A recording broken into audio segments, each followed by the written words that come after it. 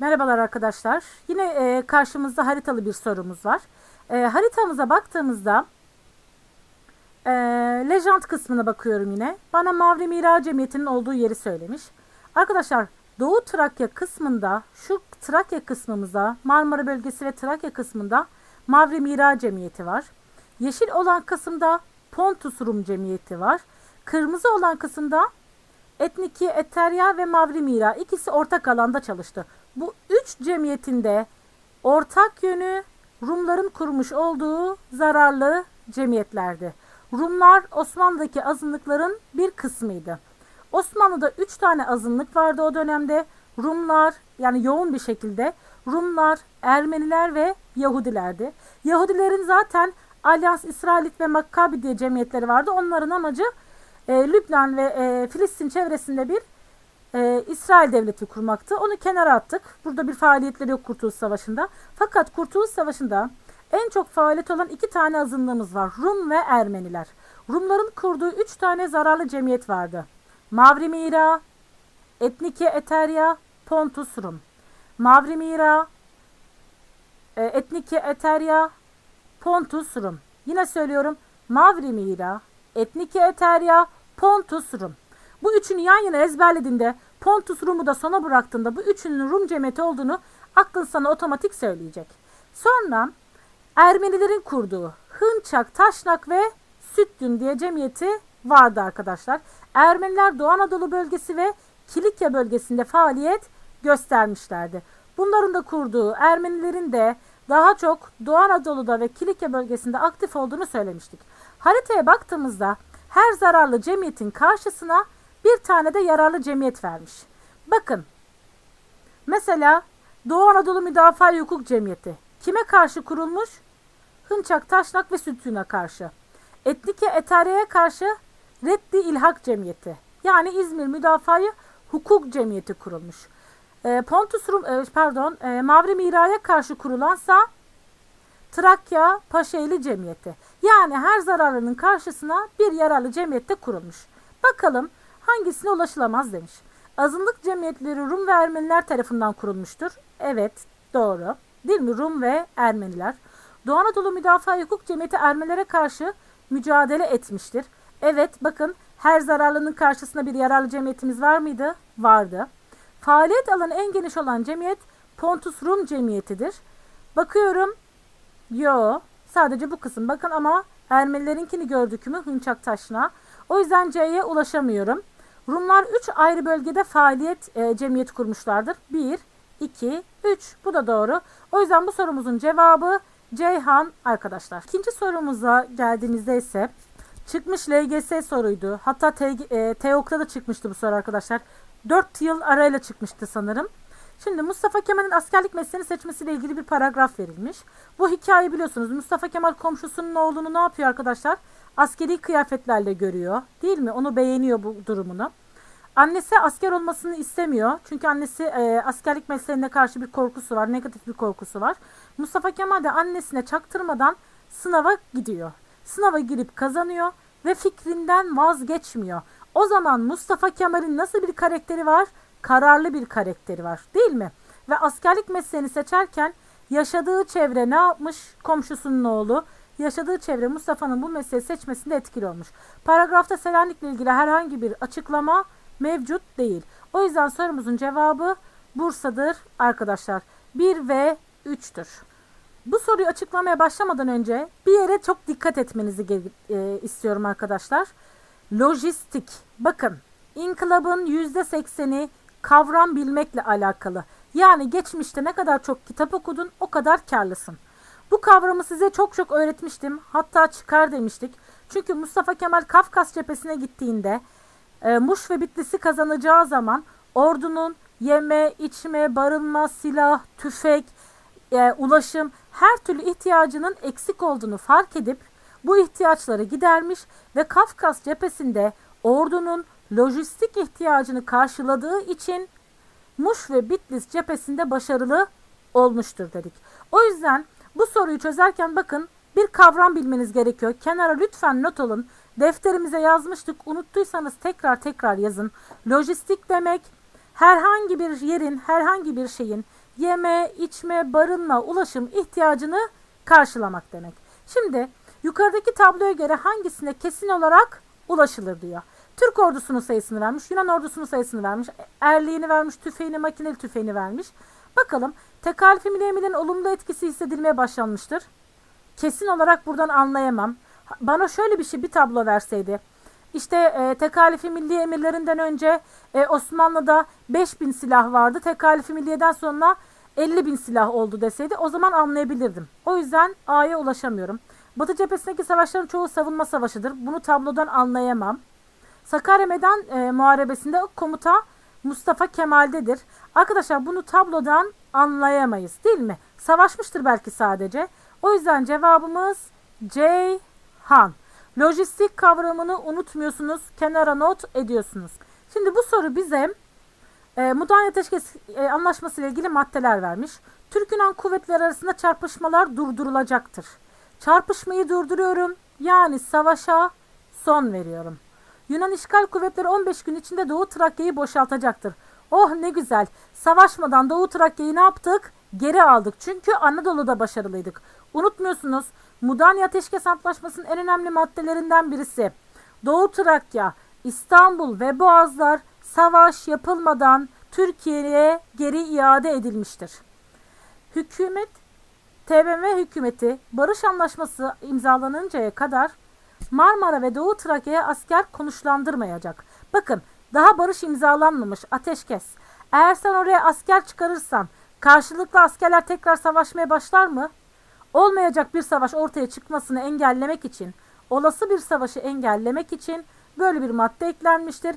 İtiraf devletler arasında birlik dağılmıştır diye bu bu paragraftan bu bilgiye ulaşamayız arkadaşlar. Bu soruya geldiğimizde Avrupalı devletlerle ilgili bilgiler verilmiş. Arkadaşlar SS diyorum. Bu sene bekliyorum. Çatır çatır bu soruyu bekliyorum. MEB'in bütün kaynaklarında İngiltere'nin tutumu, Rusya'nın tutumu, hatırlıyorsanız e, ikinci ünite başında da defterinize bunu yazdırmıştım. Lütfen defterlerinizi tekrar tekrar okuyunuz.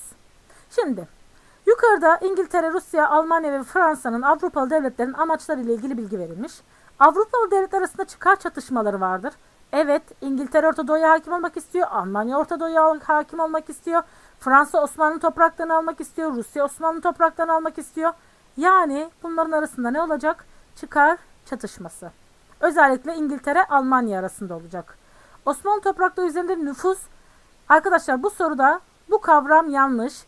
Nüfus kişi sayısı demektir. S harfi yanlış. Nüfuz etmek. Yani o bölgeyi yönetmek. Lütfen defterine not al ya da denemenin üzerine not al. Bakın S ile yazılan nüfus bir bölgede yaşayan kişi sayısı demek. Ama nüfuz etmek oraya hakim olmak, orayı yönetmek. E bu arkadaşların farkındaysanız hep amacı Osmanlı topraklarına hakim olmak değil mi? O yüzden ikiye de ulaşabiliyorum. Osmanlı toprakları doğal kaynaklar bakımından zengindir. Evet Orta Doğu'ya babasının hayrına gelmiyor değil mi? Ya da Rusya sıcak denizlere e, yüzsünler diye gelmiyordu hatırlıyorsanız. Çünkü orada ne vardı? Petrol vardı. Bu bilgiye de ulaşıyoruz. Cevabımız Denizli oluyor arkadaşlar. Bu soruda paragrafta Mustafa Kemal ile ilgili bilgi verilmiş bize. E, kaç tanesine ulaşılabilir sorumuz var. E, eksik yönlerinin farkındadır. Evet bakın arkadaşlar matematik dersinde başarılı ama diyor yabancı dilim zayıf. Bu yüzden de yabancı dil eğitimi almalıyım diyor. Eksik yönü fark etti mi? Evet. Farklı alanlarda kendini geliştirdi. Adamın matematiği iyi. Yabancı dili iyi. Gitti bir de tarih okuyor, inkılap araştırıyor. Bir de askerlik eğitimi alıyor. Farklı alanlarda kendini geliştiriyor. Avrupalı düşünürlerden Jean-Jacques Rousseau, Voltaire, Montesquieu'dan da etkileniyor. Demokratik kavramlara önem vermiştir. İşte burada da demokrasi kavramını bilmen gerekiyor. E, adalet, eşitlik, özgürlük, bağımsızlık bunlar da demokratik kavramlardır. Bu paragraftan Mustafa ile ilgili dört maddeye de ulaşabiliyoruz. Kavramlar, kavramlar inkılapta çok önemli. Bu soru bize e, Wilson ilkeleri ile ilgili bilgi vermiş. Wilson ilkeleri hatırlıyorsanız Birinci Dünya Savaşı'nın sonucunu getirmesi için ABD'nin yayınladığı bildiriydi. Bakalım savaş sonunda yenen devletler yenilenden toprak almayacak. Niye savaştık? Savaş sonunda yenen devletler yenilen devletlerden savaş tazminatı almayacak. Bakın arkadaşlar bu iki maddede savaş mantığına aykırı. Hatta hatırlıyorsanız ders anlatırken çok saçmaydı. Osmanlı için pozitif bir yöndü ama savaş mantığına ters bir durumdu. Osmanlı Devleti'nde Türklerin oturdukları bölgelerin bağımsızlığı sağlanacak. Türklerin olduğu yerleri bana veriyor. Yani benim egemenlik hakkıma ne yapıyor? Saygı duyuyor. Herhangi bir bölgede sayısal çoğunluk hangi millete aitse orası onun vatanı olacaktır. Bununla ilgili herhangi bir şeye burada ulaşamıyorum. Ee, alınan kararlar savaş sonrasında uygulanamamıştır. Arkadaşlar yukarıdaki bilgiden bu kavrama ulaşamıyorum. Yalnız 1 ve 3. Derste de söylemiştim yine söylüyorum. Defterinizden lütfen bu gece yatmadan önce Mondros'a karşı Osmanlı'nın tutumu ne? Mustafa Kemal'in tutumu ne? Anadolu halkının tutumu ne? SS yazıyorum. Sınavda yine bekliyorum arkadaşlar. Bize 8. soruda Mondros'a karşı Mustafa'nın tutumunla ilgili bir açıklama yapmış. Hangisine ulaşılamaz demiş. Ee, Mustafa Kemal mevcut durumla umutsuzluğa düşmemiştir diyor. Arkadaşlar İstanbul'da bir işin olmayacağını görmüş, arkadaşlarıyla oturup karar vermiş ve Anadolu'ya geçme kararını almış. Yani umutsuzca oturup elini bağlayıp oturmamış bu adam. Çözüm yolları aramış. İstanbul hükümeti mevcut duruma tepkisiz kalmıştır. Evet padişaha gidiyor ama padişahla görüşmesinden bir sonuç alınamıyor. Mondros Ateşkes Anlaşması sonrasında Anadolu'da halk direnişi başlamıştır. Paragrafta direniş başladı, savaş başladığı ile ilgili bir açıklama mevcut değil. Sadece en son savaşa gelene kadar, seyrine kadar almış olduğu kararlardan bahsediyor. Mustafa Kemal başka kişilerin düşüncelerine önem veren bir liderdir. Arkadaşlar size bir kavram öğretiyorum. Örnek sorularda da verdi. Derste söylemiştim ama unutmuşsunuzdur. Bu kavramı defterinize not alıyorsunuz. İstişare. Hocam istişare ne demek? Arkadaşlar insanların bir karar alırken ileride yönetici olduğunuzda sizler de evinizde evde evde de yönetici olursunuz ya da çalıştığınız ortamda, sınıfta, okulda herhangi bir yerde bir karar alırken o kararı alırken birkaç kişiye danışıyorsanız yani insanlarla birlikte karar alıyorsanız istişare yapmış oluyorsunuz değil mi? Ee, ve arkadaşlar Mustafa Kemal ne yapmış? Ali Fuat'a danışmış, Rauf'a Darıl e, danışmış, İsmet'e danışmış. Yani arkadaşlarıyla istişare etmiş. Başka kişilerin fikrine önem vermiştir. O yüzden bu sorumuzun cevabı Ceyhan. Felsefe olarak arkadaşlar istişare önemli bir şey. Ben size bunu öneriyorum. Dokuzuncu soru bize düzenli orduya geçişle ilgili bilgi vermiş. Önce Kuvayi Milliye vardı. Birinci Yunan Savaşı öncesi de düzenli orduyu kuruyoruz. Bakalım buna göre ne demiş? Düzenli orduya belirli bir program dahilinde geçilmiştir. Evet bakın parça parça geçmiş. Önce subay yetiştirme okulu açmış. Asker alımlarını başlatmış kişi sayısını arttırarak. Batı cephesini ikiye ayırmış ve sonra düzenli orduyu kurmuş. Yani planını programını adım adım gerçekleştirmiş. Mevcut asker sayısını arttırmış. Okul açıyorum, asker yetiştiriyorum. Asker alımını arttırıyorum. Kişi sayısı artıyor tabii ki. Düzenli ordu geçiş sürecinde İsmet Bey'e görev verilmiştir. Evet, düzenli ordu çalışmalarını kim başlatmış? İsmetçiğimiz, İsmet İnönü. Cevabımız 1, 2 ve 3. D şıkkı. Şimdi bu soruya baktığımızda e, biraz konuyu size hatırlatalım. İlk TBMM kurulduğunda savaş meclisi olduğu için hızlı karar alıp vermesi için iki yönü e, iki yönü seçti. Bir, meclis hükümeti sistemini ve arkadaşlar neyi seçmişti? Güçler Birliği ilkesini. Hocam meclis hükümeti ne demekti? Bakın çocuklar, meclisin görevi yasamaydı. Meclis ne iş yapar? Yasama işi yapar. Hük hükümet ne yapar? Yürütme işi yapar. Yani bir yere komutan atar, öğretmen atar, koyulan kuralların, yapılan yasaların uygulamasını sağlar demiştik. İlk meclisimiz, kurulan meclisimiz hem yasa yapıyordu hem yürütme yapıyordu. Şöyle bir tabir kullanmıştık. 3Y bir aradaysa biz buna güçler birliği diyorduk. Ve meclis hükümeti demek Mustafa Kemal hem yasamanın hem yürütmenin hem meclisin hem hükümetin başkanı kimdi arkadaşlar? Mustafa Kemal Atatürk'tü. Şimdi biz meclis hükümeti sistemini uyguladık fakat bir yerden sonra bakan seçilmesi gerçekleşemedi. Çünkü bakanları meclis seçiyordu.